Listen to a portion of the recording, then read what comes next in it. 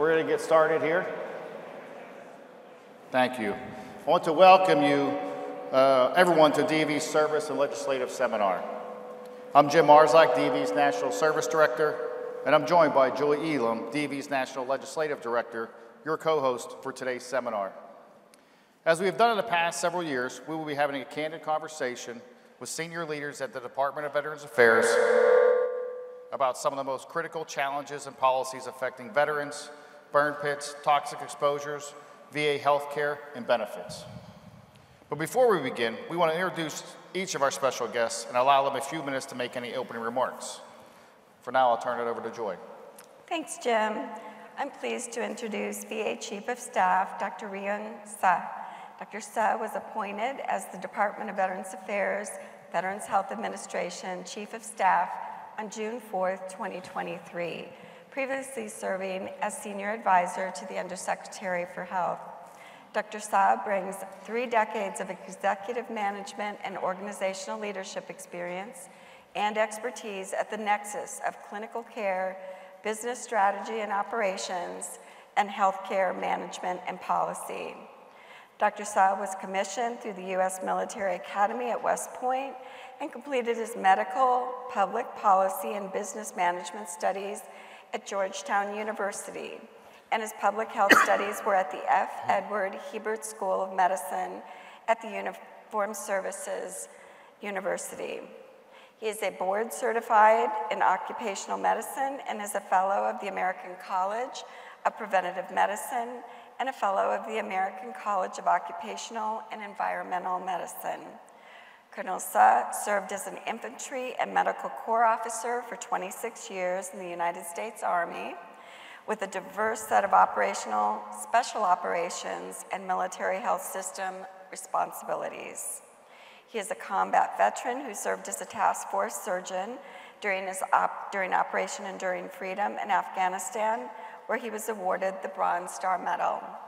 He has, he has had multiple overseas deployments throughout his Army career, and his military qualifications include airborne, ranger, jump master, and flight surgeon. Dr. Suh is a service-connected disabled veteran who received care and support from the VA upon his military retirement. I'm also pleased to note that he is a lifetime member of DAV and hails from the great state of Texas. Please join me in welcoming VHA's Chief of Staff, Dr. Ryung Suh. Dr. Suh? Come yep, go ahead. Well, uh, good afternoon, everybody. It's uh, great to be here today. Uh, as uh, Joy mentioned, I was in the Army. I was in the Army for uh, 26 years, and as a life member of DAV, it's uh, great to be with my veteran brothers and sisters today. Um, it's also great to be back in Jersey. I, I, grew up in North Jersey, and um, uh, spent my summers down here in the Jersey Shore, um, so you know it makes me feel very nostalgic to um, you know think back on my uh, misspent youth.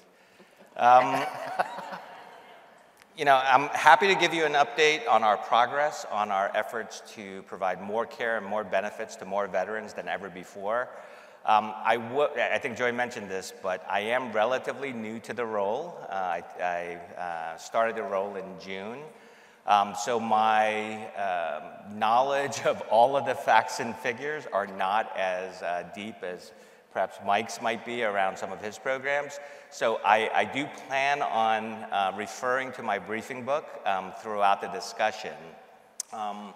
So, you know, I think it kind of brings me back to my roots um, where I remember, you know, going to middle school and high school in Jersey and, and cheat sheets were definitely very prevalent back then.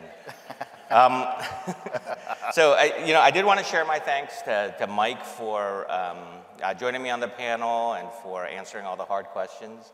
Uh, I wanted to thank uh, Randy um, for inviting Dr. Elnahal and for um, allowing me as a um, older, fatter, slower replacement, uh, allow me to slip in at the last minute. Um, I'd like to thank Joy and um, uh, Jim for moderating the panel, and probably most importantly, I'd like to thank all the veterans out there and all of you, everyone in the room who supports uh, and remain dedicated to veterans and veterans issues. Um, veteran service organizations are key partners in our mission to provide veterans with the care they've earned and deserve. Uh, you play a critical role in providing the feedback to us to help us improve on how we serve veterans. You've also played a major role in the rollout of the largest expansion of veteran benefits in generations and helping to spread the word about our benefits and helping veterans file claims under the, uh, under the PACT Act. This landmark piece of legislation is one that DAV and uh, VSOs in general have been fighting for and advocating for for many years. And your direct support is essential in helping veterans and uh, filling out their, uh, their claims. Um, you know, I, if it's okay, I, I, would like to share a personal story to start. Um, and, you know, most of my 26 years in the Army, I was in um, highly deployable units.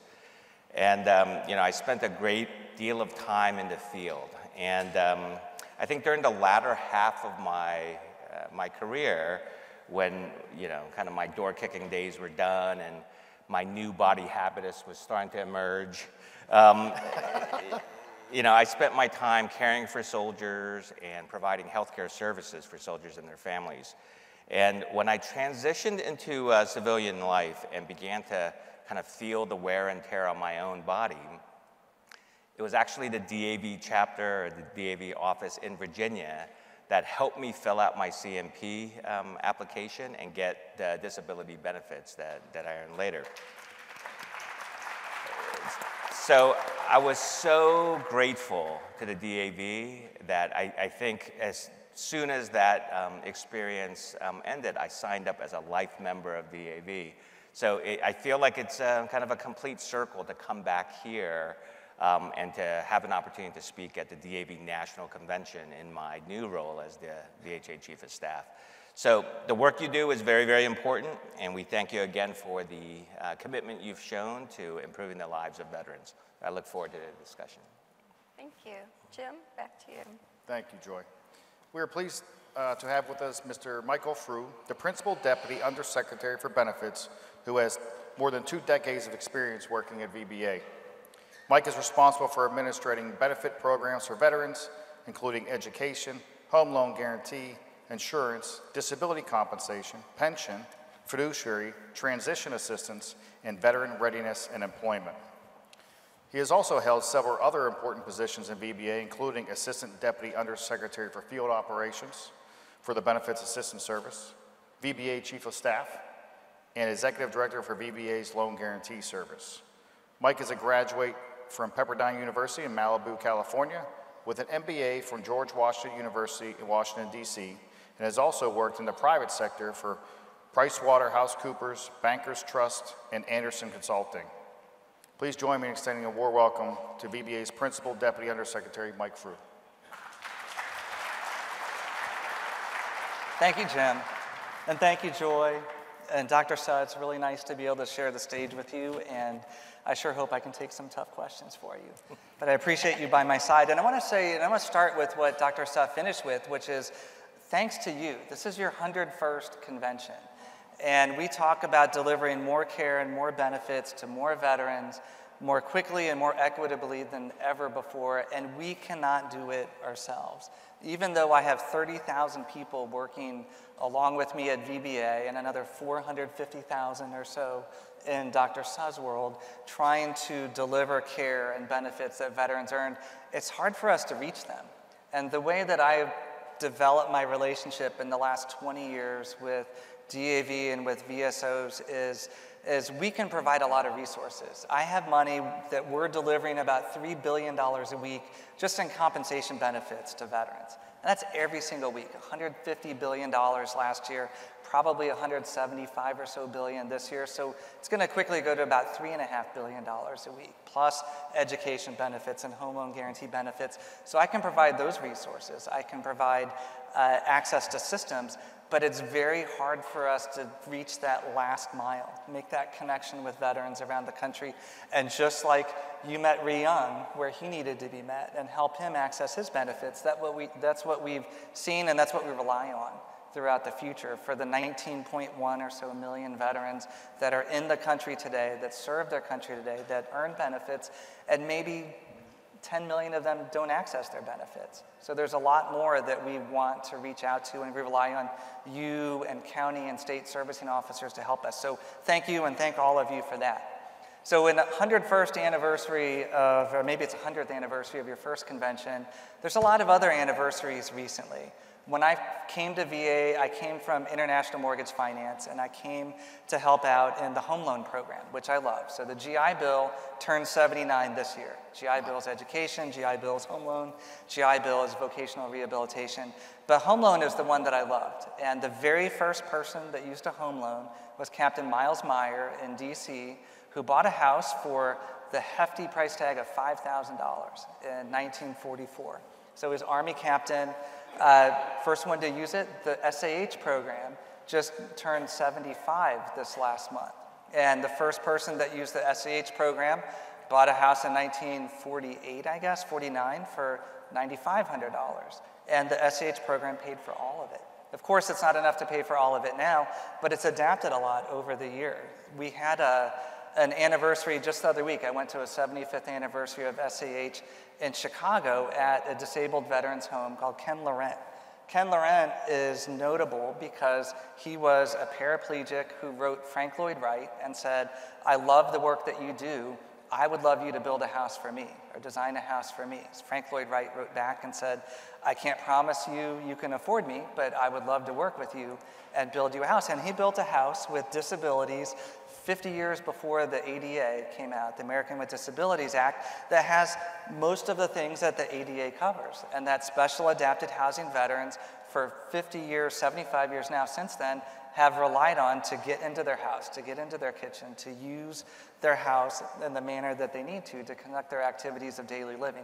So that's another anniversary that we've gone through recently. And of course, we've got the anniversary of the PACT Act which yep. we talk about as one of the most expansive uh, expansion, the biggest expansion of benefits in history, probably since the GI Bill, which is 79 years. I hope that I am not still talking 79 years from now about the PACT Act, but it has been a really, really big deal at VA. We spent a lot of time planning for it. We spent a lot of time implementing it this year, relying a lot on you, DAV, and all of your servicing officers around the country to implement it. And we'll talk more about it throughout this panel. But I really look forward to talking to you and sharing what we've done this past year. Thank you, Mike. Mm -hmm. Great. Well, I'm going to go ahead and get started with the questions. Dr. Suh, the first one will be for you, but we'll, we'll try to take it easy. We'll give you a little bit of slack with, you know, two months uh, there. But anyway, one of DAV's key legislative goals is to expand VA's healthcare capacity. We want to ensure that service-disabled veterans who need and want to use the VA for their care have access to timely, high-quality services. And however, over the past year, VA has routinely had to offer veterans care, more care in the community because of timeliness standards uh, can't be met. We know that healthcare staffing shortages are prevalent uh, throughout the United States and at VA, and competition for hiring healthcare providers is fierce. Could you just um, tell us what VHA's plans are to fill the thousands of existing clinical vacancies and maybe talk a little bit about the specific challenges the department faces in regard to you know, recruiting and retaining and hiring uh, quality doctors, nurses, and other clinical staff?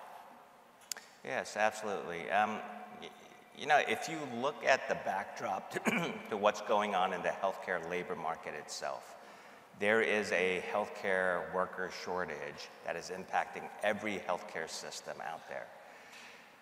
Part of it may be due to the pandemic. I think there is a new phenomenon of uh, what's known as provider burnout and staff burnout generally, where a lot of people are leaving the workforce itself. And so what we end up seeing is that almost every occupational series, almost every labor category that is out there is impacted by the, the labor shortages.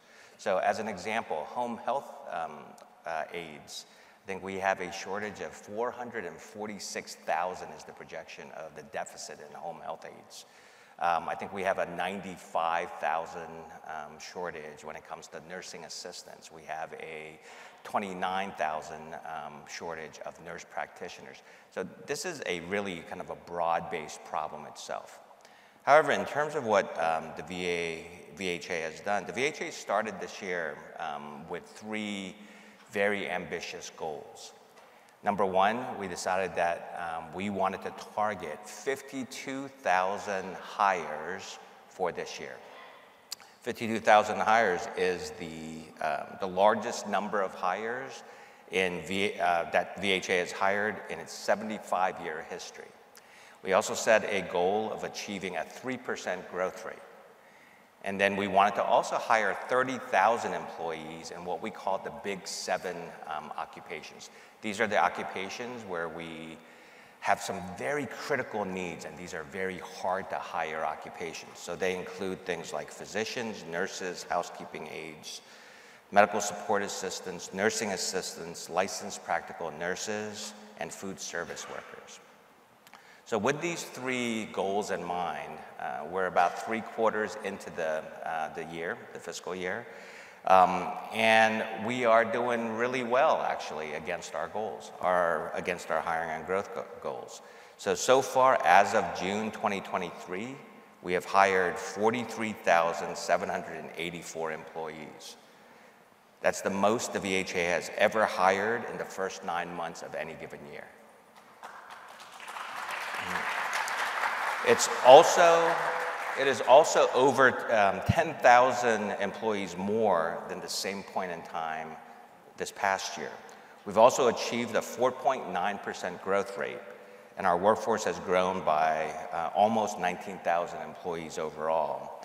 Our end strength now stands at almost 400,000 employees, and we've had our biggest growth rate in over 15 years.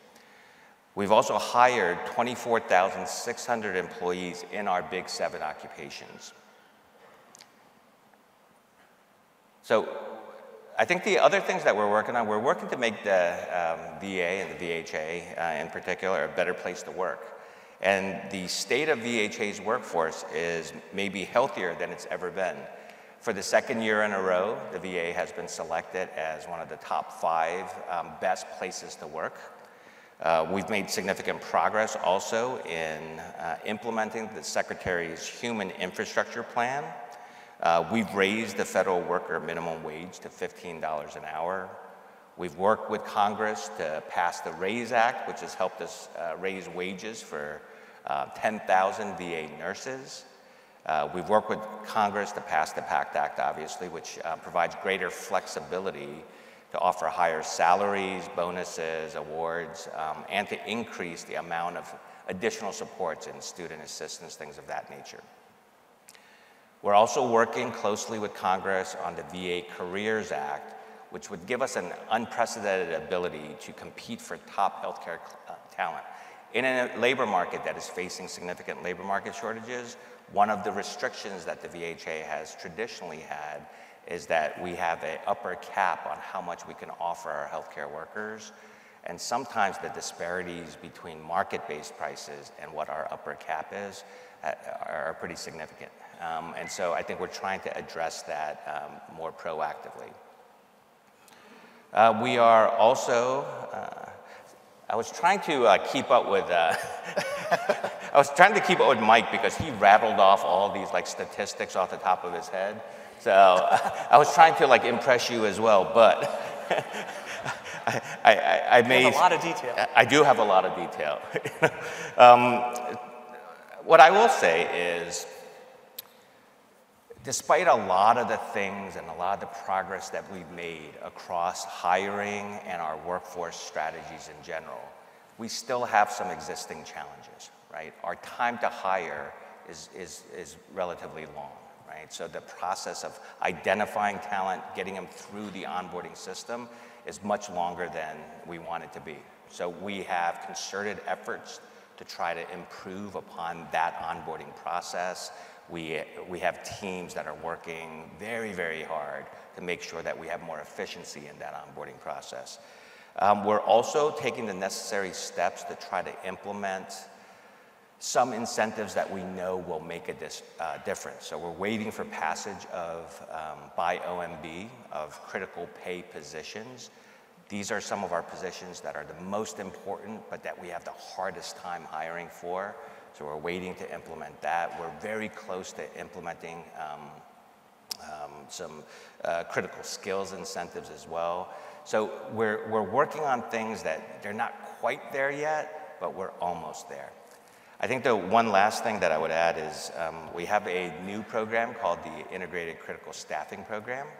And that is an effort to ensure that if we have a vacancy and it takes us, you know, let's say seven, eight, nine months to fill that vacancy, that we have a centralized process for filling that vacancy while that hiring process is going on.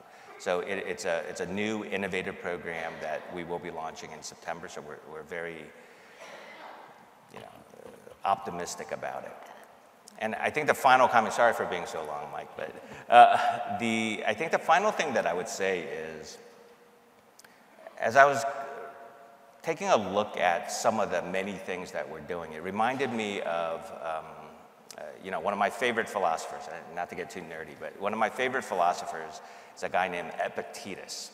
And Epictetus um, would often say in Latin, he would say, um, ta femen, ta uca femen. All right? And that translates to what is up to us, what is not up to us. And when I look at the panoply of different initiatives that the VA is working on to improve upon hiring and improve upon the workforce, I think everything that is up to us, we are doing everything possible to try to make progress across these fronts. The things that are not up to us, the labor marketplace, the economy in general, legislative restrictions, things of that nature, that makes it hard for us to address those things effectively. But I think, again, we're making tremendous progress and we're very proud of the efforts that we've uh, accomplished so far. So. Well, thank you for such a thorough um, overview. I think that's really,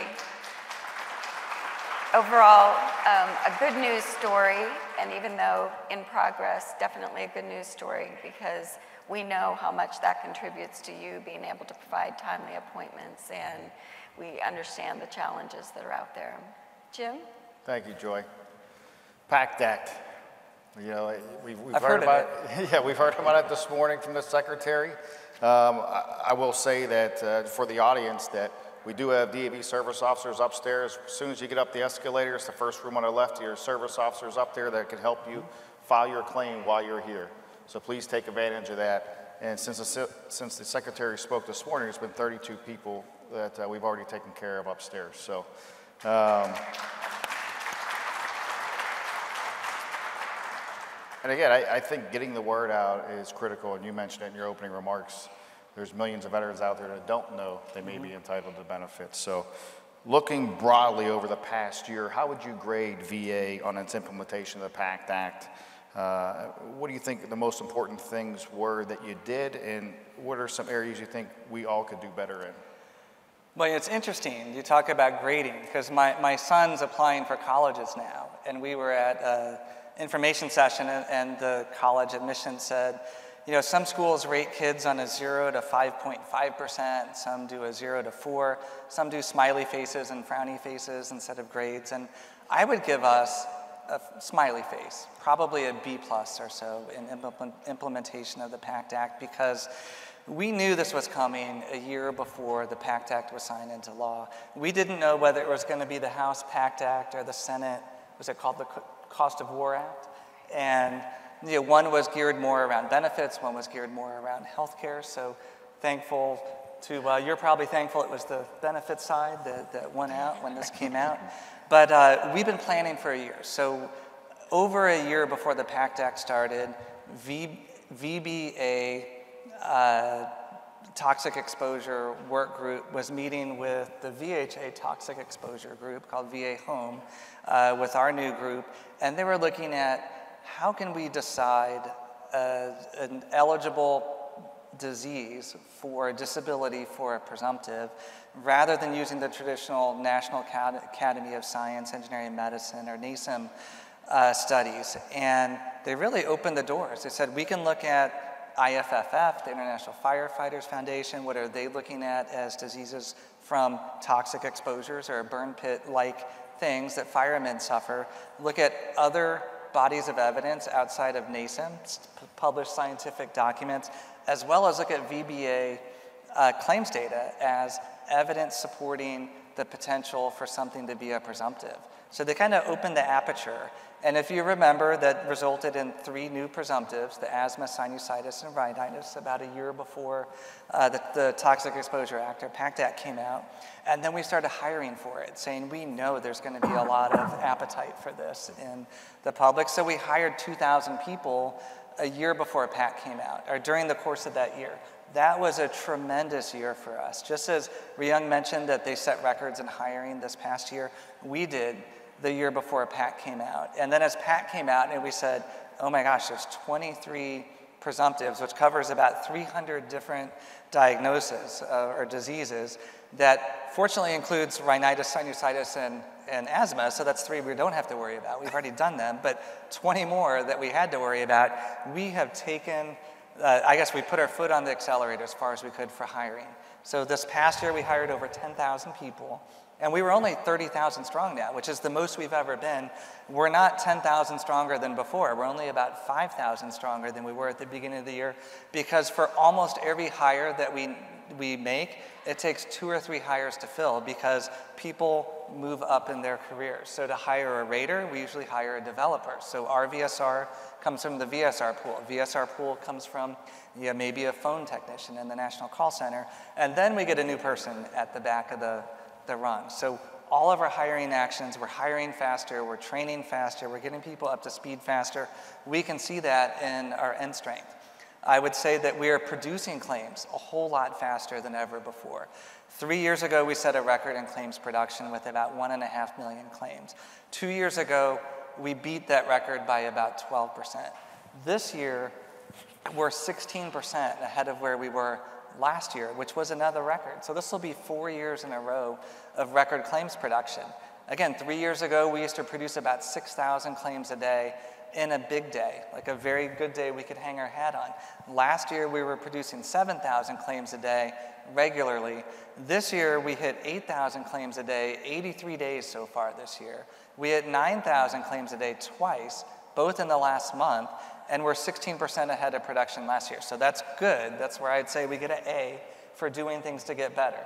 We did that by hiring. We did that by a lot of automation that your former national commander, Rob Reynolds, is in charge of in the department. And we'll talk about that a little bit later. But those are the good things. The other part that's equally good that causes a little bit of trouble for us is our outreach has been tremendous. Secretary says get in line and file a claim, and people are getting in line and filing a claim. We've done a lot of paid advertising, more than we've ever done before.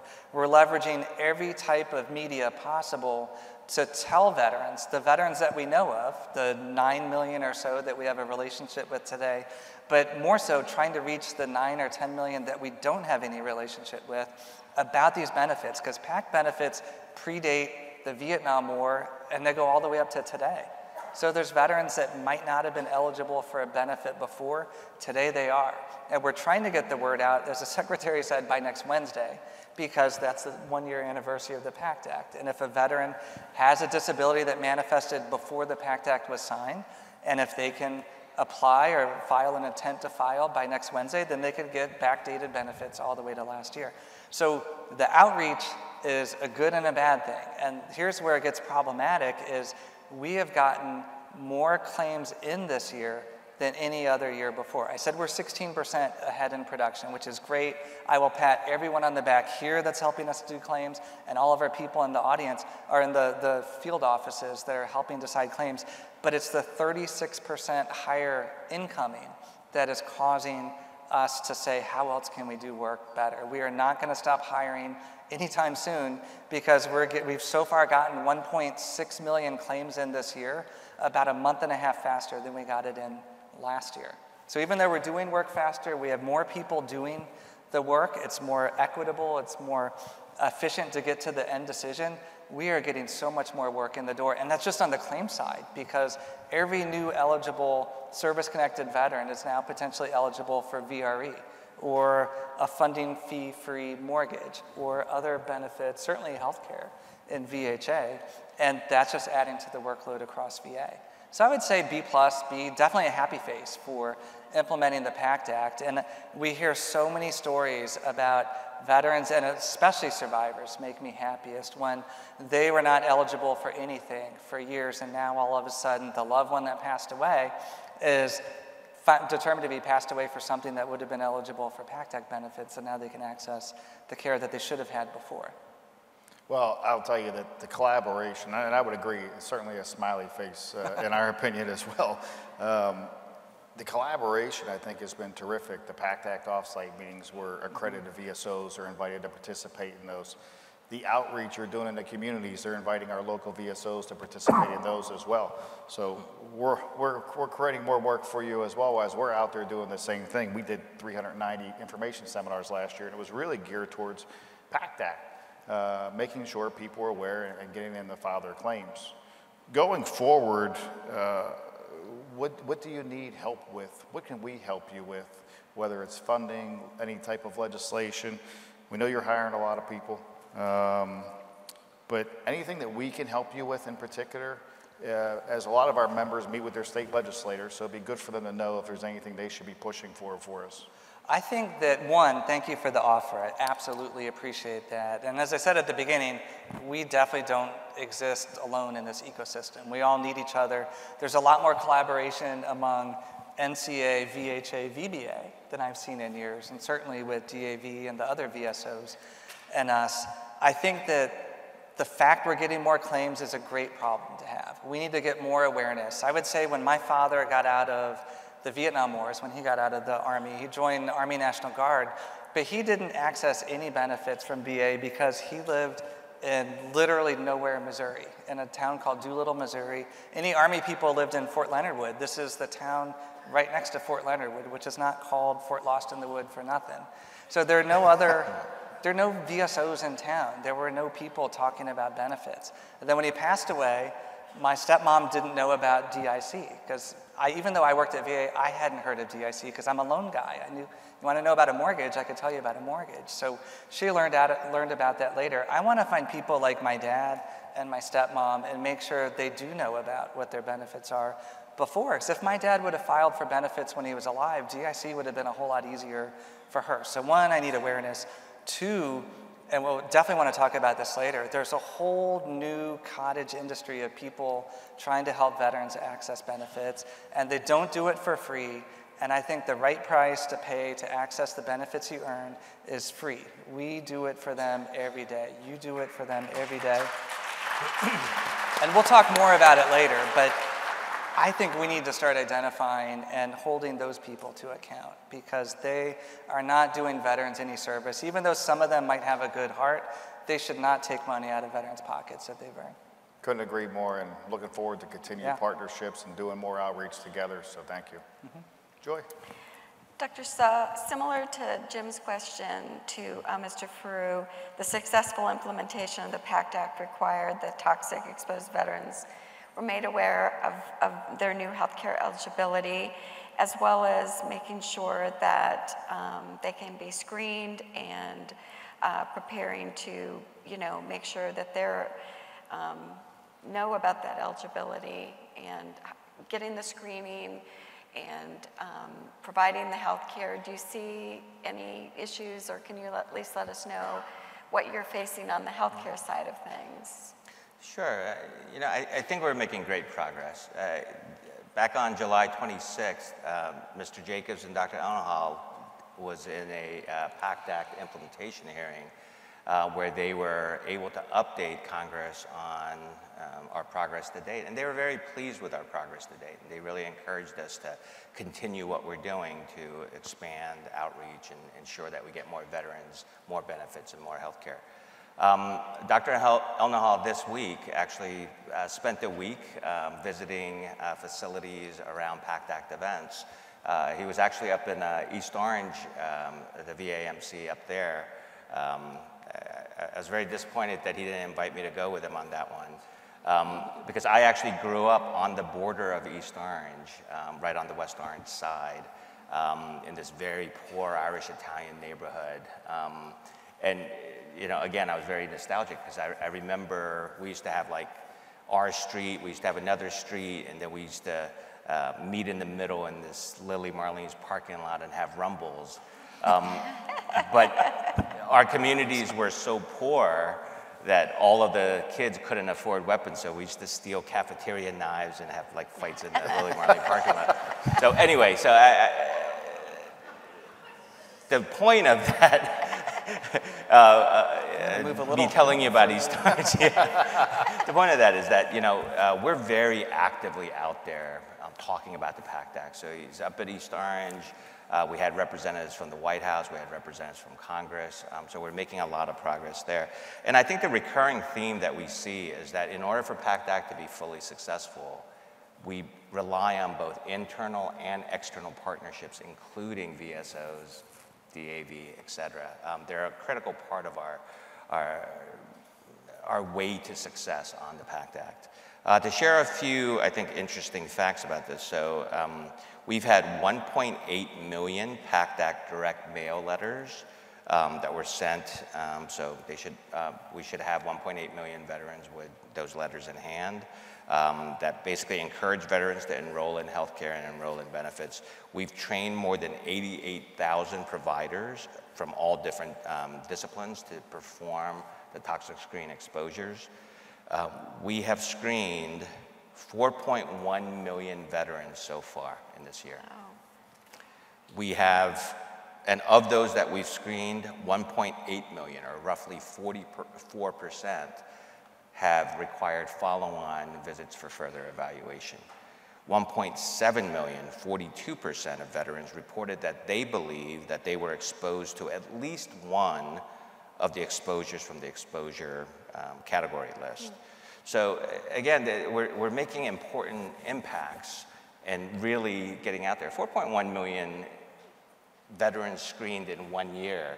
That is a phenomenal um, accomplishment from my perspective. Um, and as we welcome new veterans and provide more care um, to those already in our system, we're really focused on building the capacity that's necessary to provide more care for more veterans. So we're really focused on hiring, we're focused on improving our access standards, we're uh, focused on infrastructure. Um, as an example, um, we just signed memoranda of agreement with two academic affiliates at Stanford and uh, uh, University of Pennsylvania to expand our clinical spaces there. Um, throughout the course of the summer, we've had 130 um, PACT Act events uh, we call it the Summer Vet Fest, um, where, we're, again, we're encouraging veterans to sign up, learn more about this, and really get the benefits that um, they deserve. Uh, I did want to take the opportunity to mention a few dates that are important. Um, we are focused on this kind of 11th hour push to get veterans and survivors to um, apply for PACT Act benefits. Um, applying before August 9th or filing a intent to file by August 9th is actually very important because if the benefits are granted, um, those benefits will be backdated to August 10th of last year. Right? So August 9th is an actual, actually a really important uh, date because um, you know, August 10th being the date that President Biden signed this into law, it allows you to get kind of retroactive um, benefits that, that, extend a year back. I think the other date that I would put out there is that post 9/11 combat veterans who served um, who served um, have healthcare enrollment periods that go through September 30th of this year as well. So two important dates to keep in mind. Thank you, Jim. Thank you, Joy. Toxic exposure risk activity, TERA, one of our favorite subjects to mm -hmm. talk mm-hmm. about.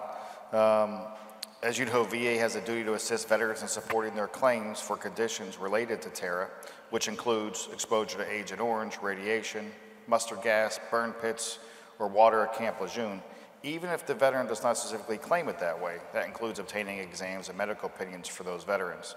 And we receive inquiries. We've had lots of discussion on this at the PACT Act offsites.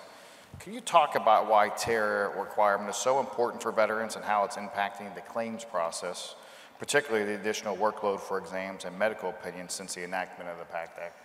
Yeah, I think that when Ryung was just talking about the just toxic exposure screenings, that 44% of the 4.1 million veterans that you've screened screened positive for some type of toxic exposure. It turns out as we look at service members and veterans, former service members, service, serving in the military presents a lot of opportunities for exposure to toxins, whether it's, it's through burn pits, through Agent Orange herbicide exposure, through the things listed in the PACT Act, or it's garrison exposures, where there's a fuel spill at you know, just anywhere, getting gas in your car and there's a fuel spill, that's a potential toxic exposure that a veteran could look at and say, I was exposed to something.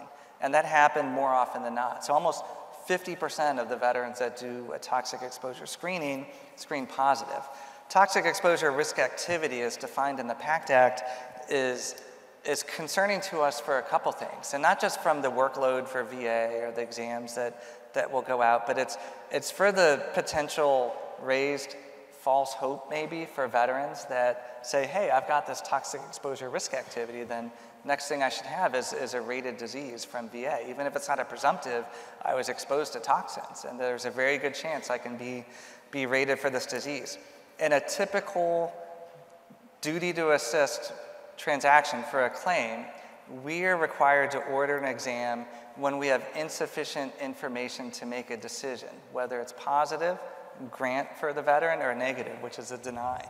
Under TERA, we're required to not only look through every single element of the veteran's experience, military personnel file, anything they give us for a potential of a toxic exposure, which we'll assume is going to be there for most veterans, but we have to look for it, whether they claim it or not. If we don't have enough evidence to grant a claim, we have to order an exam. So the old burden is if you can't make a decision, grant or deny you order an exam. Now, if we can't grant, we have to order an exam. And ordering an exam will add another 20 to 30 days to a claim. It will add scheduling and hassle to a veteran. And what we've seen so far is it's not adding a large percentage to the granting category for claims. So when we were predicting workload or projecting workload, TERA on top of PACT claims is adding a whole nother half, you know, 30 days or so, say a month to the process for potentially two plus million claims a year that we're getting in. So it's definitely going to impact veterans whether they have a toxic exposure risk activity or not because it's taking so long for us to tell whether they do. And everyone in the inventory, which there's 950,000 claims and veterans waiting for a decision on a claim today, it's only going to make that wait longer. And so we're very focused on that to say, what are ways we can do to help your servicing officers, help our VSRs and our VSRs get through the thought process of examining whether TERA exists, taking the right action, ordering, ordering an exam as quickly as we can. And we've done some, we provided some job aids and tools to help people go through that. We're looking at automation to help us go through that. And we're also talking with VSOs like you with Congress to say, is there any other way we can think about the toxic exposures of veterans that won't cause such a, a potentially long term impact for them to wait for decisions that aren't necessarily going to be favorable for them? Well, I, I think that's a great point. And you, you talked about false hope and kind of setting them up that they're not sure what the decision is going to be and they might have some potential benefits. The, the PACT Act added over 20 new categories of presumptive uh, diseases that really consist of probably over 300 different mm-hmm. potential mm-hmm. diseases. Does VA intend on um, presenting a list so people do know exactly what they may be entitled to?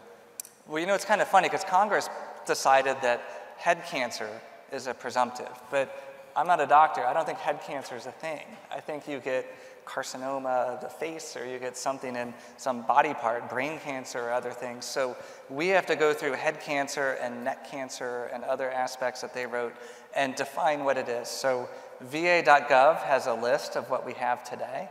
I would say it's probably not exhaustive as science changes and we add and subtract different things to the list, but definitely on va.gov. We've got hundreds of listed disabilities that could help your servicing officers as they're looking to, to help veterans file for claims. But at the end of the day, I would say if you don't feel good and you think what you don't feel good about was caused by your service or exacerbated, have a veteran file a claim because presumptive or not, we're going to look for a way to, to attach that to their service. Excellent. Thank you very much. Mm-hmm. Thanks.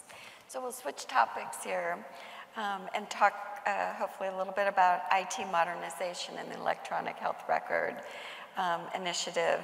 Modernization of VA's electronic health record system is integral to the delivery of, of quality patient care, and it's central to the future of the VA healthcare system. However, the rollout of the Oracle Cerner EHR system has been put on another pause due to problems documented by GAO and other, um, the Office of the Inspector General.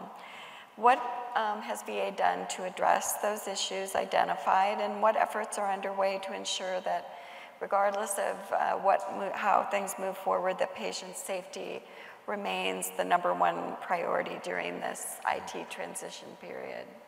Sure.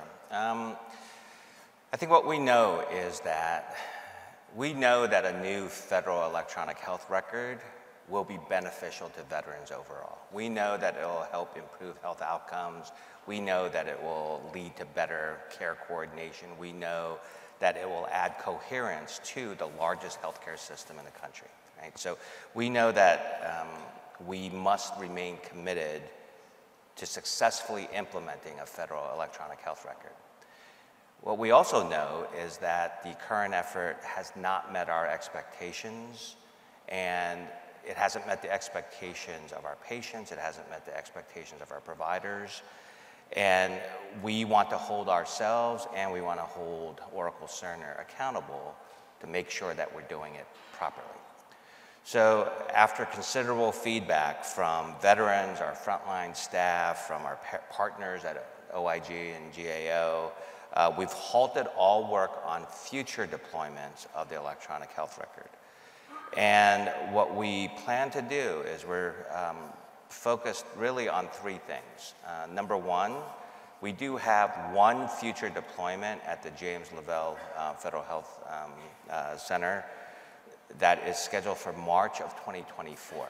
So part of uh, the work that we're doing is to ensure that that launch is done um, successfully and that we've learned from any lessons from our prior experiences. I think the second thing that we're focused on is we have five current sites. Those five current sites, we're doing a, a very thorough review of what are the things that we've learned during the initial implementation, what are the things that we can improve to ensure that those five sites are operating um, uh, properly. And then number three, we're really developing the plan for future uh, deployments. Because we recognize that this is an investment that is absolutely necessary for the VHA, we want to do it properly, and we're learning from the experience uh, the first time around. I think the other thing that is um, important to recognize is that electronic health record implementation in any healthcare system is always challenging. Uh, so I come from the commercial you know, health space, and I don't know of any EHR implementation that has gone smoothly the first time around. Right? And so I think when you add the fact that we're dealing with 171 facilities, 1,300, excuse me, 171 VA medical centers or hospitals, 1,300 facilities, um, that we're going to encounter some challenges, but we're very focused on it, and I think we have a, a good plan to relaunch after the program reset.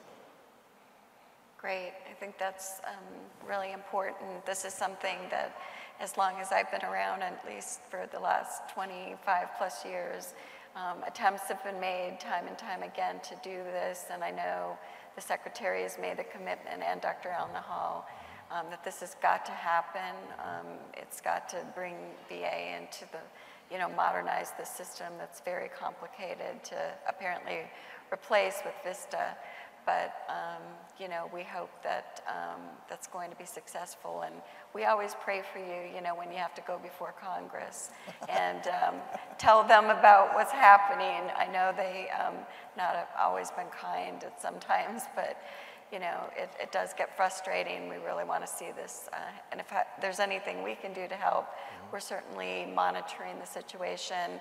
We're having meetings with you and we appreciate um, the updates and the routine um, and all the efforts.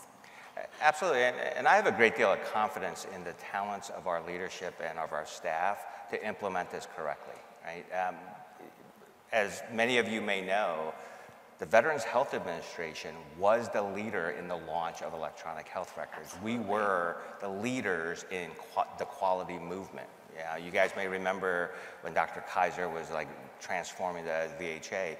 The entire commercial health system looked to the VA and said, we have a lot to learn from the Veterans Health Administration.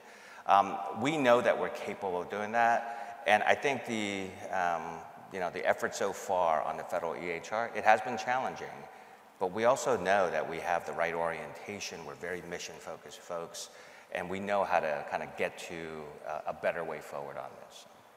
Great, thank you. Jim? Thanks, Joy. The backlog of claims, as anticipated, you know, over 700,000 claims filed as, as a result of PACT Act. The backlog, uh, the, the actual, the number of claims pending is just under a million, and, and uh, the backlog's nearing 300,000. Uh, can you talk about VBA's plans to lower and ultimately eliminate the backlog? Uh, and when do you think you would see some progress in regards to eliminating the backlog? We, uh, well, backlog, just so everyone understands, is a claim in inventory. We have almost a million claims in inventory. Backlog claims are those claims that are more than 125 days old, so say four months. And the number was arbitrary and it was picked for us. So we're not necessarily, I wouldn't agree that every claim could be decided in less than four months. For example, radiation claims from the 50s and 40s and 60s take a lot of research and a lot of time. So four months is not realistic for them. But we absolutely want to give veterans a decision as quickly as we can. The receipts, amount of claims we're getting in is terrific lately. It's through the roof. We got 14,000 claims uh, early this week, this past Monday or Tuesday, which I thought was tremendous. And then we got 17,000 claims in two days later. So we're getting more claims in on any day than I've ever seen before. In fact, this July is our third highest receipts ever. Wow. And the second highest receipts is two months ago, so May. And the first highest is back when NEMR came into place, and on one day we had 180,000 claims established. So we throw that out. That's 12 years ago, 10 years ago. Right now, we're getting more claims each month than any month before. And if that continues, the backlog is going to grow, the inventory is going to grow. But we're doing a couple things to make sure that veterans get timely decisions. One, we're trying to hire and train staff as fast as we can, and we've hired 22% more people in the last year and a half since fiscal year 22 than at any other time in our history. We're bigger than ever. We're trying to find ways to train people more quickly, and we can tell that it works because our people are producing faster. They're doing more decisions more close to their hiring date than we expected. And we model all of this out. We have very smart quantitative people that say you hire 100 people off the street, you put them in training, that takes some of your people that know what they're doing to train, and then you have to mentor, that takes other trained people out of production. So it actually slows production when we hire because we're taking trained people out to get the new people up to speed, but it's an investment that will have a long-term gain because we'll be stronger at the end of the way. We are training people faster, they are productive faster. And then what I mentioned earlier, your former national commander, Rob Reynolds, in the front row here, we made one of the best decisions ever about two and a half years ago when we said we want to create a deputy undersecretary position for automation. And we picked Rob because Rob had done a ton of stuff over the years before in loan guarantee and stakeholder enterprise portal, created e-benefits, if any of you used e-benefits, which basically ported over to, uh, to va.gov. He has a group of people that are creating processes that make everything faster for us. I mentioned earlier that years ago, a really good production day was 6,000. Last year it was 7,000. This year it's 8,000. I fully expect we'll be at 9 or 10,000 in the next couple years because we have more people can do more and because of what we're doing in automation. So when I talk about a deputy undersecretary for automation, I want to be clear what that is because it's a couple things. You know, one, it's automating repetitive tasks so that people don't have to do boring things. So we have excellent electronic health records in VA. It's not a single system that we want in the future, but we still have excellent electronic health records. Our VSRs have to gather evidence. We have a duty to assist veterans. When they file a claim, they go into our corporate database and they pull records over into uh, the e-folder in VBMS. That might take 10 minutes or 15 minutes per veteran, but we're getting record number of claims. So if we get two and a half million claims this year, and we can save 10 or 15 minutes per claim, that's about 650,000 hours of time that's saved. Or to put in the eyes of personnel, it's about 330 people that work for a year to do just pulling claims information over from uh, health records. And for the veterans perspective, that's probably 110 to 120,000 claims that we can do just for saving 10 minutes per claim or 15 minutes per claim. So that's one type of automation. Another type of automation is taking advantage of something that started ages ago, where we started digitizing every piece of paper that VBA has. We went to all of our regional offices that were somewhere actually the floors were sagging under the weight of the files that we had, and Jon Stewart had a field day talking about that. But we started scanning. We sent, we sent trucks of people to take files, comp compile them, say which files are where, put them in boxes, seal them, put them in a truck, escort them to an offsite scanning facility, and then store them forever, and not in our RO. We've scanned billions of pages of documents that we now have advances in artificial intelligence and machine learning that allow us to let a computer look through thousands, tens of thousands, even millions of pages in each veteran's record and say, how much of this record relates to a particular diagnostic code or a particular uh, disease. And it will present that as evidence to a rater. And if we can use electronic AI and, and machine learning to look at a record as soon as you file. If you were to file a claim today, Ryung, it would go to an automatic scanning center that would load it into our system.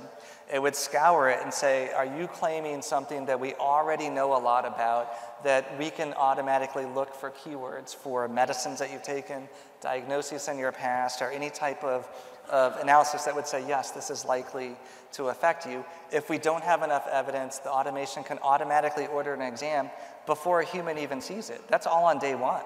If it does have enough information to make a decision, on day one it could go to a rater, and the rater can be ready to look at that and say, on day one, no one's looked at your claim, but I will now have a cheat sheet, like a Cliff Notes version of your evidence that I can examine and say, does this look like it's sufficient to rate a claim?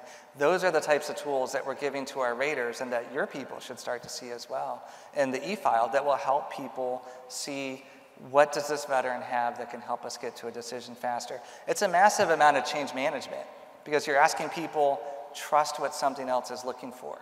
But in the old days, people would put on those little rubber finger things and they would page through hundreds of pages, thousands of pages, and look for evidence. Now we're saying, let someone do it. And I would say it reminds me when I first used Google. I can remember the day I was at a client site when I was at Price Waterhouse, and this lady said, This is the most amazing thing. It's a white page with a box that says, I'm feeling lucky. And you type in something and you say, I'm feeling lucky, and it tells you a result. Now, 15 years later, we don't even question it. It's just, it searches it, we trust it. Like if it says the score of the Nats game is this, I'm not going to look somewhere else and see if it's right. I know it's right. And that's what we need our people to get used to in the automation in our world. Well, the automation has been terrific, and we've worked closely with Rob and his team. And I remember, I, I visited a scanning facility in, in Janesville and Yeah. got to see how big of a production that is and how accurate it is. So it's very impressive. Um, but I think automation, I think a lot of people were under the impression that, well, if someone's auto, they're automatically, a computer's deciding my claim, and that's not accurate. It- There's still a person making a decision on the claim. It's a decision support tool. It's supporting that person making the decision and, ga- and helping them gather all the evidence. So I appreciate you clarifying that. That was very helpful. Oh, and I love that term, decision support tool. It is definitely a human being that's making the final adjudication. Yep, I appreciate you saying that. Joy? Yep, thanks, Jim. Dr. Suh, the number of women and minority veterans using VA healthcare system continues to rise, and we know that it's expected to further increase over the next decades. What is VA doing to ensure women and minority veterans, including racial, ethnic, and LGBTQ plus veterans, have equitable access to VA programs and specialized services? I think when it comes to um, our efforts around health equity or promoting health equity, I'd say we, we have three primary levers.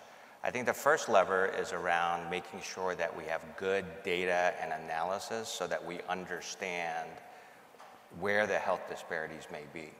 So, for example, one of the initiatives we have is, um, you know, if we have incomplete data on, um, you know, race, ethnicity, sex, gender, those types of things, um, we know that the gold standard for identification of those things ends up being self-reporting. So we are opening up the va.gov portal for veterans to be able to come in and correct their records directly. Right? I think it's, a, it's, a, it's an easy way or an easy fix to ensure that the data itself is more accurate than we, we, we might currently have.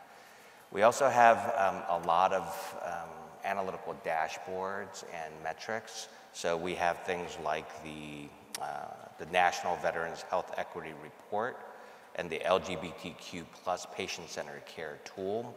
And it really allows us to conduct operational um, analyses to, again, determine where are the best ways that we can start to develop strategies for reducing health disparities. I think the third is actually around outcomes, and outcomes are actually very, very difficult um, typically to analyze.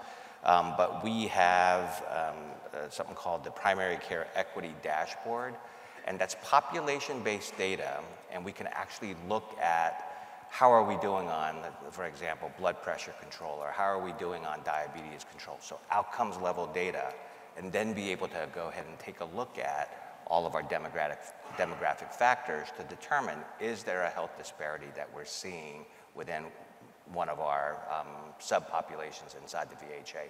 So these are very powerful tools that um, not a lot of um, you know, frankly, a, a, lot of other communities are able to do, but because we have such a large, you know, closed, well, it used to be a closed healthcare system, um, it allows us to conduct this uh, analysis at a level of granularity that you don't commonly see. I think the second lever that we see is around the quality improvement. So, you know, what good is it to know that there are health disparities? What can we do to act upon those and improve upon those? So we have an equity-based quality improvement portfolio that is really focused on what are we doing around when we identify a health um, inequality or a health equity issue. How are we improving the situation? So we have a, um, the Office of Health Equity has a number of clinical themes that they focus on. So we have quality improvement um, projects underway that are focused on uh, reducing disparities on the use of newer diabetes medications, on the use of uh, statin medication use and adherence to medications. Um, we're advancing uh, the health of uh, Native Hawaiian and other Pacific Islander populations where we've seen a lot of uh, disparities. Um, and really, all of these types of projects focus on eliminating health disparities as we find them. I'd say the third lever is really around education, and training types of tools and opportunities. So we have, um, we have a lot of programs that are really focused on developing and um, disseminating tools around minority veterans, women veterans, a lot of other veterans that are um, you know, priority populations for us. You know, Secretary McDonough has um, said to us many times and reaffirmed his commitment to making sure that VA is a harassment-free environment, including, you know, gender-based harassment and sexual assault across the department. And I know that was an important thing to him right from the beginning um, when he came in. Could you provide our members an update on the VA's White Ribbon campaign and the department's efforts on this important initiative? Sure. It, it, it is a priority for the, um, the VA more broadly, definitely within the VHA as well, uh, where we want to promote awareness as an effort to prevent um, and end harassment and sexual assault um, through this White Ribbon uh, VA campaign. So it's a national call to action um, and um, uh, as a way to promote positive change within your organization. Um, it's a opportunity to, where all, regardless of gender, can participate. Uh, it was inspired by the White, White Ribbon Organization, which is the world's largest movement to, to end violence against women and girls. Um, more than 300,000 VA employees, uh, veterans, and um, partners have taken the White Ribbon VA Pledge to date. Um, we have uh, a white ribbon VA champion at every VA medical facility. Uh, we ensure that every new employee has the opportunity to take the White Ribbon Pledge um, throughout our entire staff, and all of our SES swearing-in ceremonies always end with a White Ribbon um, uh, VA Pledge ceremony. Uh, DAV has been a key partner in promoting the, the White Ribbon VA Pledge as well. Uh, you've helped us get commitments from veterans who are part of the DAV through your outreach and your programming. And uh, again, we just continue to um, promote and we remain committed uh, to the White Ribbon campaign. Great. Well, that's such, so important, and we've, um, our leadership has been 100% behind that and making sure that we can help to do our part. We want to just make sure that every veteran who needs to use the VA healthcare system can go and not have any exp poor experience um, with regard to any type of harassment. You know, VA provides such unique and specialized services, and it's critical that every veteran get the opportunity to use that and not want to be dissuaded from going because of a poor experience. So I know our members, uh, it's important to them as well and want to help do their part um, and watch out for everybody while we're there and make sure we report something if we see it. Thank you. Jim? Thank you, Joy. We filed nearly 175,000 claims for over half a million issues last year, and 90, 97% of those were done electronically. And we really depend on VA, VBA's core systems to allow us to do that, whether it's VBMS, SEP.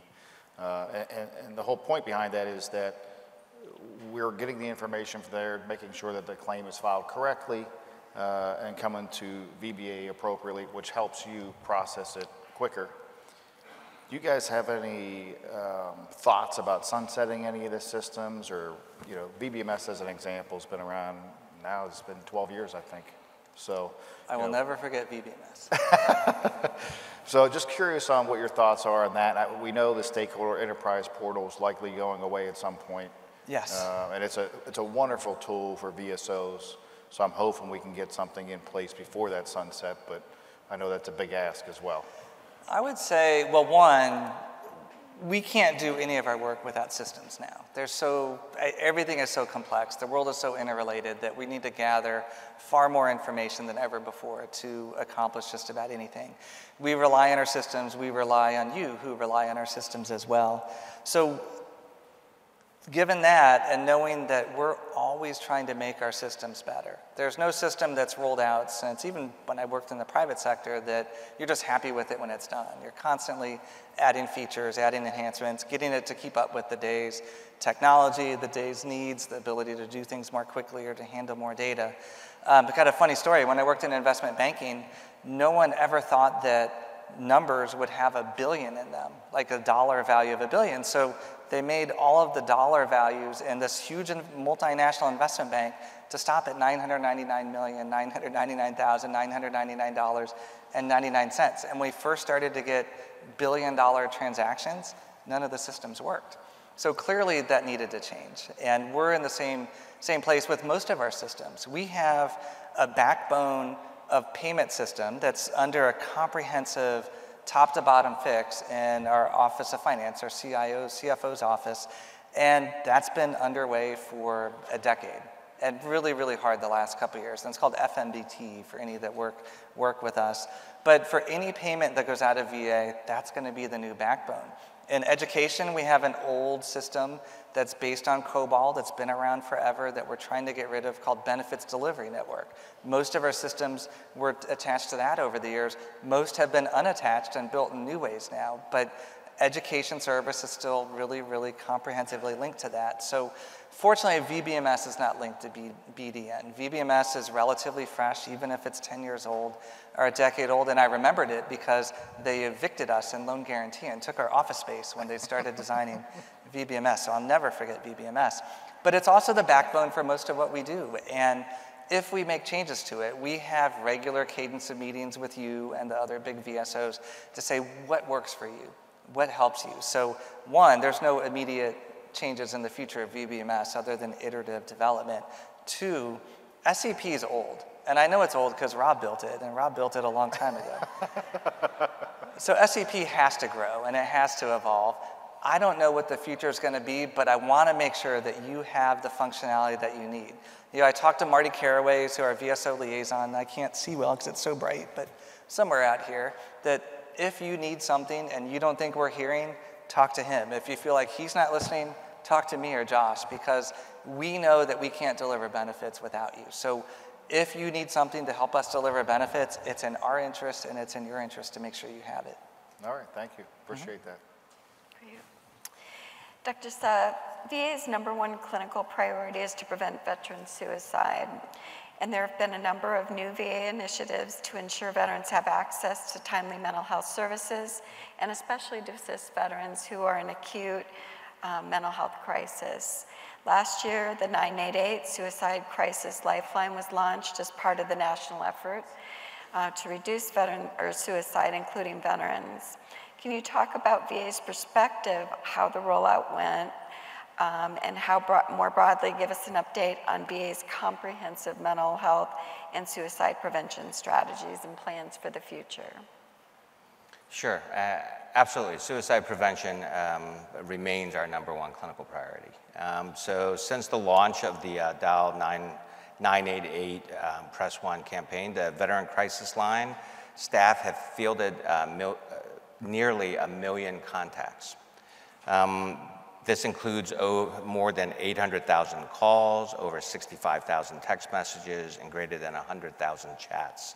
This translates to roughly a 12% increase in calls, a 45% increase in texts, and a 9% uh, increase in chat messages over the preceding year. So, despite this growth, our average speed to respond on the uh, veteran crisis line is 9.3 seconds, which is below our 10 second um, standards and the abandonment rate is uh, 1.5%. So we're trying to keep that below 5%, so we're doing um, okay on that. But in order to prepare for and to continue to support the growing demand, the, uh, the Veteran Crisis Line has bolstered our workforce by over 900 new employees. Uh, this includes responders, supervisors, peer support specialists, and other support staff. So as of July 16th of this year, the Veteran Crisis Line has 1,806 full time equivalents, of which 1,096 employees are crisis responders. Uh, speaking more generally about our suicide prevention and mental health um, strategies, we remain committed to mental health um, integration into our primary care and other specialty um, experiences. So um, we have worked hard to ensure that we have mental health professionals and behavioral health specialists available where veterans need it most, where they receive their care. So we've integrated mental health professionals into primary care, into our oncology clinics, into our pain clinics, and we continue to look for other areas where it makes a lot of sense for us to integrate mental health professionals.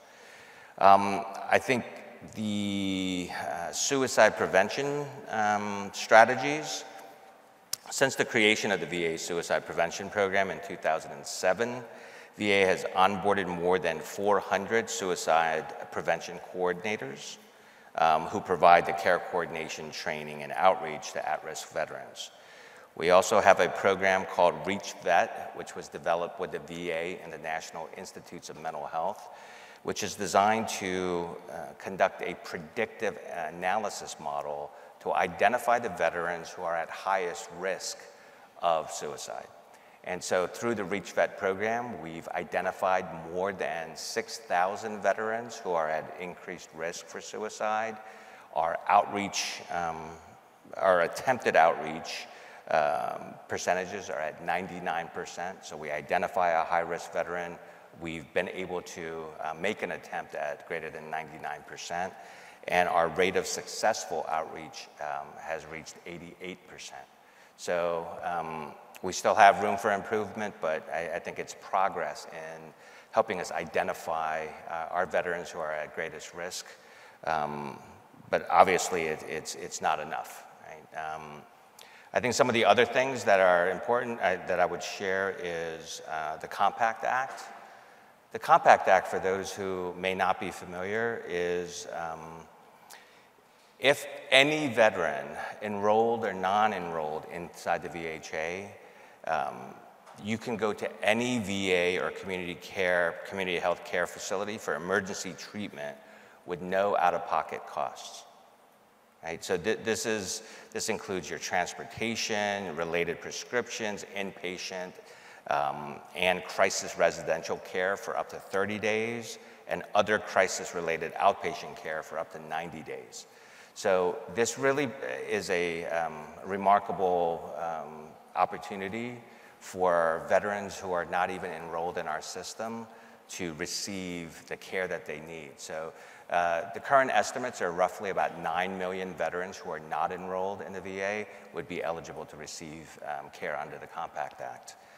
Um, I guess the last statement I would say is that the Office of Mental Health and Suicide Prevention's mission is to promote, protect, and restore veterans' mental health and overall well-being, to empower and equip them to achieve their life goals and to provide quality state-of-the-health um, care in a timely manner.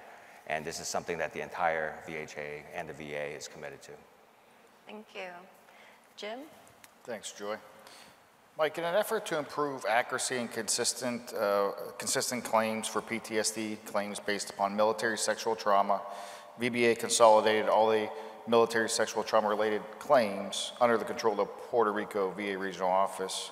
Can you talk about whether this has improved either the accuracy uh, of the claims or led to improved timeliness? Um, that's a process that's still underway. So the MST, or military sexual trauma claims, are a subset of claims that has obviously been very important to us in VA, and it's gotten a lot of, a lot of uh, consideration in the last several years for how do we best handle not just the claims, but the claimants. What is the best way for us to help a veteran who has experienced a traumatic event during service, a sexually charged event during service, and try to touch them in a way that's compassionate, that's trauma informed, that will allow them to hopefully not relive their experience, but get to a point where we can get them the care and the benefits that they need, especially the mental health care, so that they can start to move on with their lives and to recover. So we've gone through a lot of different evolutions in how we handle MST. We did create, right now, it's, I would call it a virtual regional office. So it's under the charge of the director of the San Juan regional office, but it's not a San Juan function. It's a nationwide function. There are hundreds of employees, VSRs and RVSRs around the country who all they do is focus on MST claims. That's been under consolidation for the last several months, I would say six months or so, as we went from several centers to this virtual regional office. We have more MST claims than ever. And I wouldn't say it's because processing time's down. Processing time is going fairly well. I think outreach and information and awareness of the fact that VA is here to help. Uh, we've got more people that are more aware of signs in veterans. And in fact, I had a former deputy undersecretary that called me and said, Mike, I was on a, a cruise of all places, and I met a veteran who wouldn't talk about her service and I think it's because of an MST. I couldn't get her to talk to me. Her husband said that she's never talked to him about it. Can we get someone to talk to her? So I actually reached out to VHA, and we got someone from VHA to talk to her in a way that allowed her to feel safe and secure and to relate her experience so we could then determine a claim and get her connected to help. That's one veteran. And there's right now 30,000 or so uh, veterans who have experienced an MST who are in a system. We want them all to get connected to care as soon as, as soon as possible because they deserve the care. One, they've earned it. Two, they should have never had to go through that in the first place. We want to get them to the care that they need. So the timeliness is still a little bit more. We want it to be done in less than 125 days is our goal. Timeliness is about 146 days right now for MST claims. I would say that they are complex because what we get from claimants is sometimes relatively small and we have to infer a lot from evidence because we are not trying to cause these people to relive the experience that caused them to need to file a claim in the first place. So we're getting better at our trauma-informed communication, at eliciting the only the information we need from veterans. We're getting better at looking at buddy statements and, and I forget the word that we we use, but looking for signs in a veteran's experience if they had a perfect, perfect uh, behavior record and then all of a sudden everything looked bad, if their attendance looked bad, if their insubordination all of a sudden started on a date, then we could use those as markers and say, hey, we don't have to know everything, but we can see consequences of what could be found. So the claims themselves are a little bit more complex, but as we get better, as we get our people uh, more experience in it, I think we're going to have to consider in the future what's the long-term impact on VSRs and RVSRs when the only type of claim that they're seeing day in and day out is military sexual trauma because it's going to take a certain amount of compassion on their part and I'm very worried about what the long-term impact for them will be.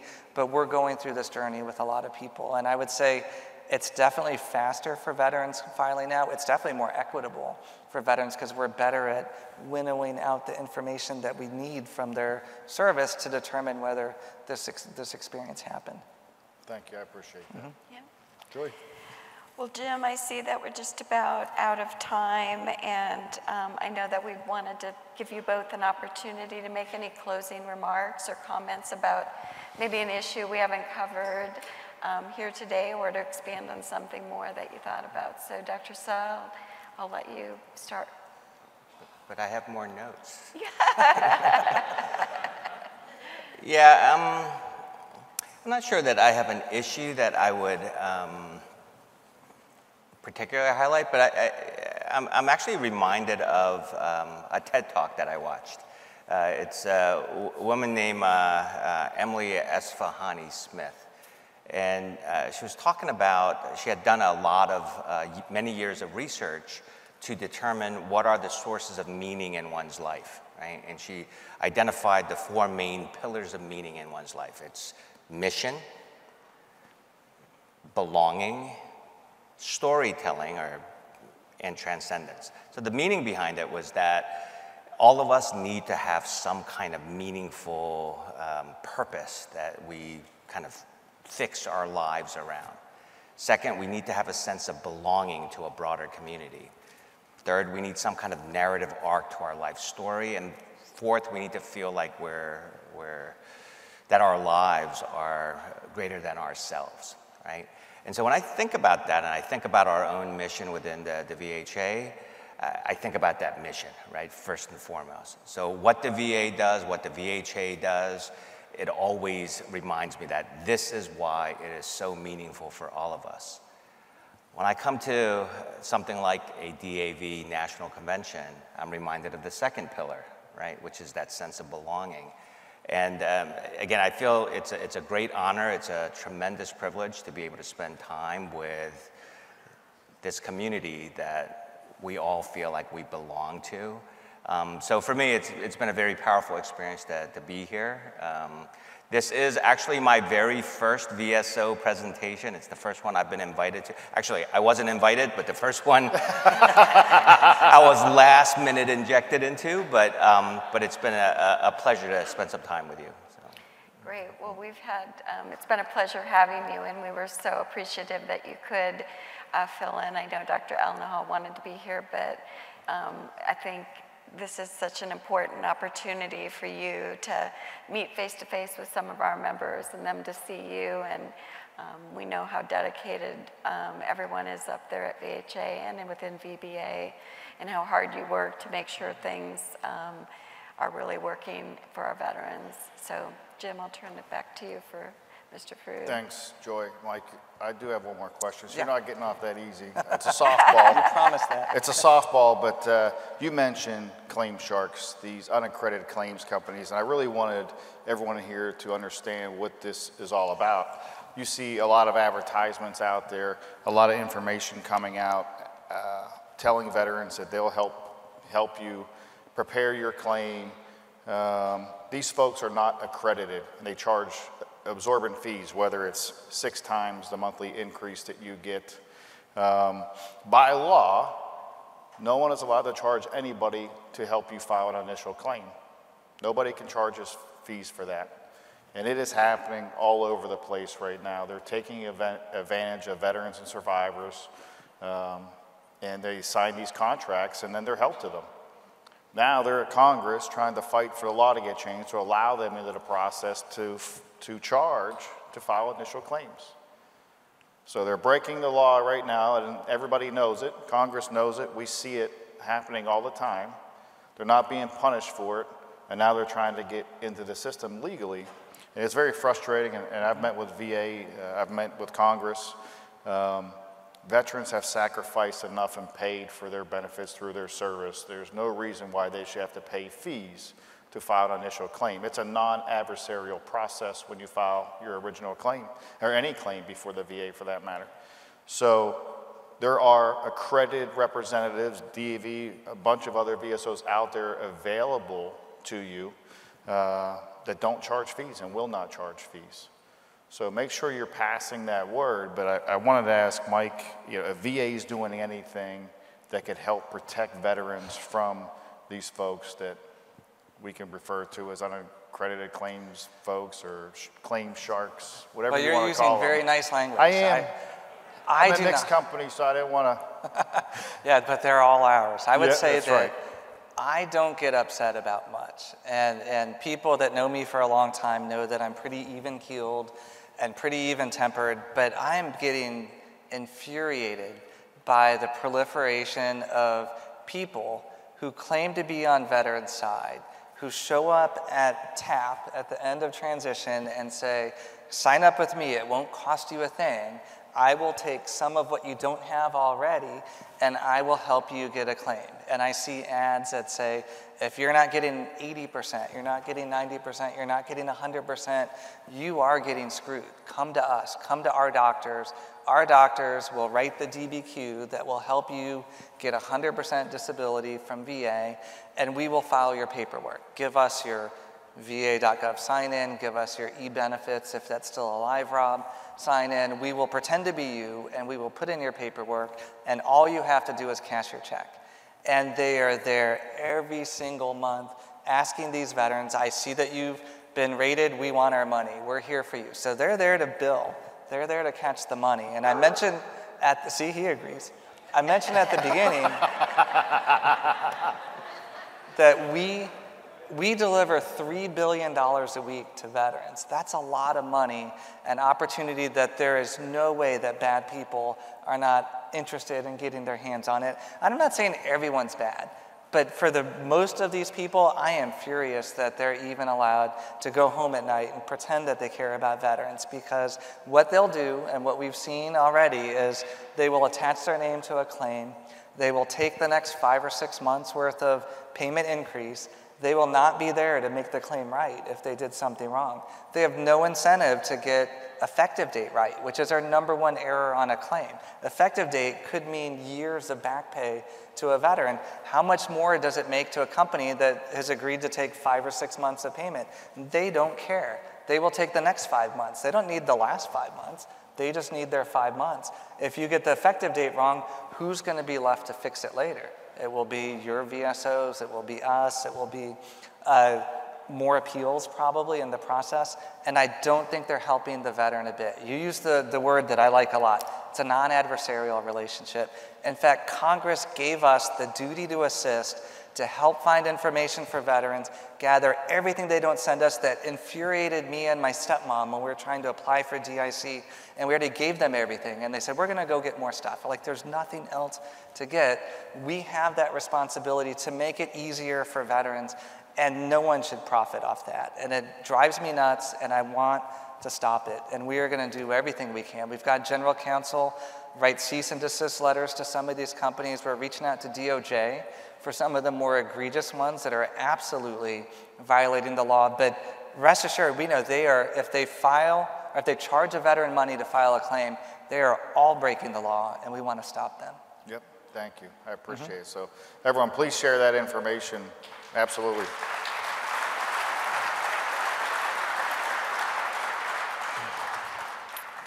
Now's your opportunity to make any final comments. I was actually going to end with TERA because I wanted to bring it up anyway, but doc, Dr. Suh said something at the beginning that said, I'm really happy to be back in New Jersey. And I've never heard that phrase before. But, but now that I'm here, I would say, this has been a wonderful day. I hope that you guys have an excellent convention and spend a lot of time with each other.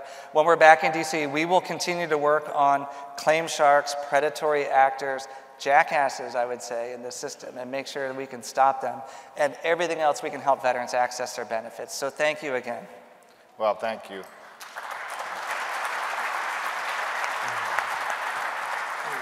On behalf of Joy, myself, and DAV, we really appreciate both of you taking time out of your busy schedules to be here on a Saturday, no less. So thank you for making the trip. Um, and again, we wish you all the best, and we look forward to continue working with both of you. Everyone, please give them a big round. Thank you very much.